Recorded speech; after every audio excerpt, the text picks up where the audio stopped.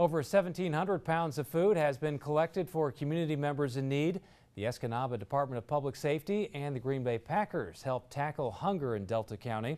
And guests who donated food were able to get an autograph from offensive guard Don Barclay. Uh, the food is especially needed during the summer months when kids are no longer on meal assistance at their schools. The products were equally distributed among the county's three food pantries.